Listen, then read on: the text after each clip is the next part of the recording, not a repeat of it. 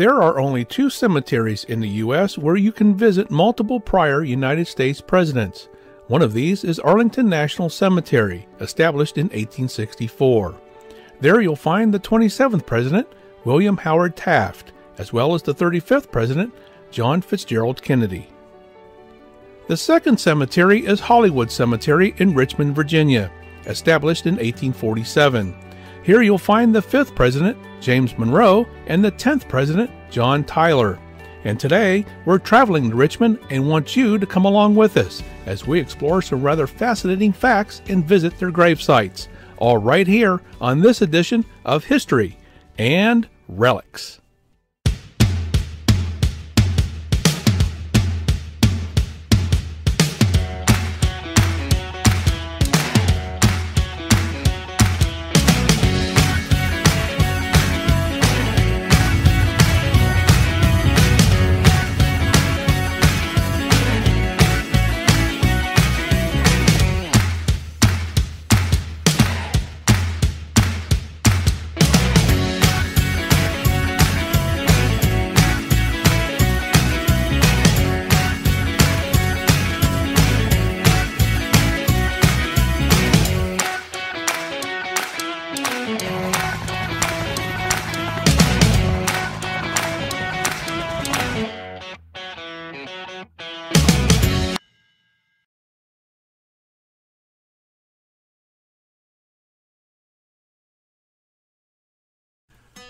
James Monroe was born April 28, 1758, in Westmoreland County, Virginia, to parents Spence and Elizabeth Monroe. James was one of five children, and his father was a relatively successful planter and slave owner who also practiced carpentry. James Monroe had a long and distinguished public career as a Revolutionary War soldier, diplomat, governor, senator, and cabinet official.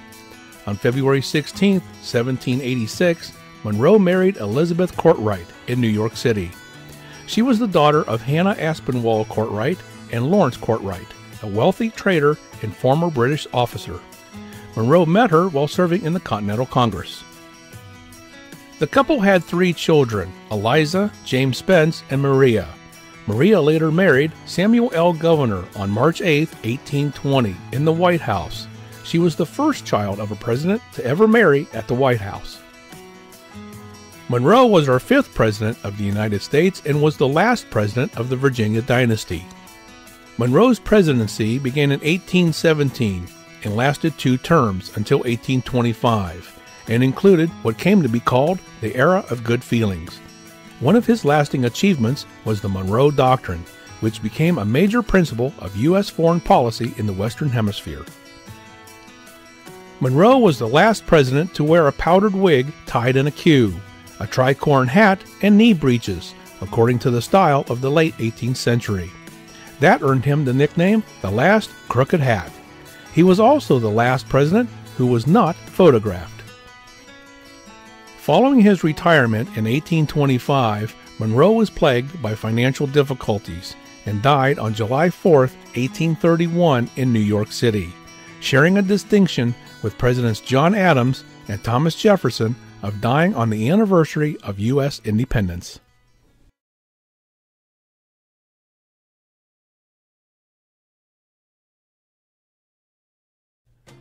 John Tyler was born on March 29, 1790, to a slave owning Virginia family. Like his future running mate, William Henry Harrison, Tyler hailed from Charles City County, Virginia, and descended from the first families of Virginia. The Tyler family traced its lineage to English settlers in 17th century colonial Williamsburg. His father, John Tyler Sr., commonly known as Judge Tyler, was a friend and college roommate of Thomas Jefferson, who later became the nation's third president and served in the Virginia House of Delegates alongside Benjamin Harrison V, William Henry's father. William Henry Harrison was an American military officer and politician who was nominated as one of several Whig Party nominees for president in the 1836 United States presidential election. He was defeated by Democratic Vice President Martin Van Buren.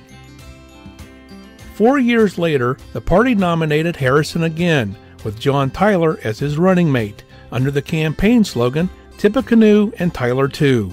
Harrison defeated Van Buren in the 1840 presidential election, becoming the ninth president of the United States. Harrison died just 31 days after his inauguration as president in 1841, making his presidency the shortest in U.S. history. Harrison was the last president born as a British subject in the 13 colonies and was the paternal grandfather of Benjamin Harrison, who would later become the 23rd President of the United States. Harrison was also the first U.S. President to die while in office, causing a brief constitutional crisis since presidential succession was not fully defined in the United States Constitution. However, succession in such circumstances would be defined, and John Tyler would become the first vice president to succeed to the presidency after Harrison's passing. While Tyler became president in 1841, he did not appoint a vice president. The Constitution did not provide a means for replacing a vice president who had died, resigned, or become president. Until 1967, vacancies in the vice presidency were left open until the next election. From 1789 to 1967, 16 different vacancies occurred, spanning a total of over 37 years. In 1967, following the assassination of President John F. Kennedy, the states ratified the 25th Amendment, which formally clarified the process of presidential succession. The amendment allowed the president to nominate a new vice president if that office became vacant. Tyler and his first wife, Letitia Christian, married on March 29, 1813. The couple had nine children. Letitia died on September 10, 1842, of a stroke, becoming the first First Lady to die in the White House. President Tyler later married Julia Gardiner on June 26, 1844, in a private ceremony at a New York City Episcopal church. It was the first time a president had wed while in office, and two days later, the Tylers held a reception in the Blue Room of the White House to introduce the country to its new First Lady.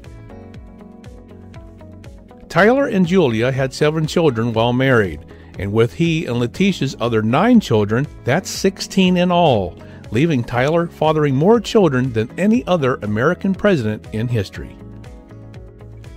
Tyler later died on January 18, 1862, at the age of 71, due to a multitude of health conditions.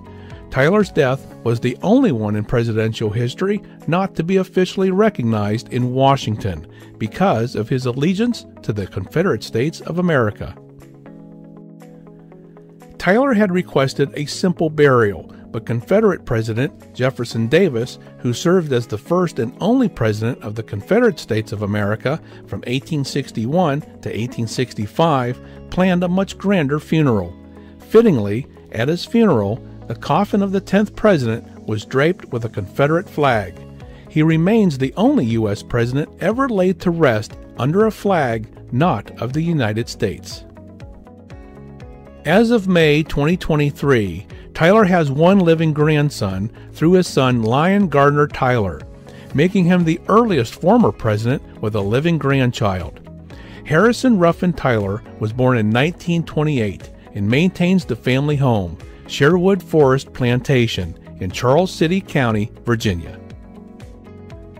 We mentioned earlier about Confederate President Jefferson Davis, who served as the first and only president of the Confederate States of America from 1861 to 1865, and who made special funeral arrangements for President John Tyler. Well, when Davis died on December 6, 1889, his funeral and burial in New Orleans were one of the largest in the South. An executive committee decided to emphasize Davis's ties to the United States, so an American flag was placed over the Confederate flag during the viewing, with many crossed American and Confederate flags in view nearby. However, in 1893, Davis was reinterred here in Richmond, Virginia, at Hollywood Cemetery, per his wife Varina's request.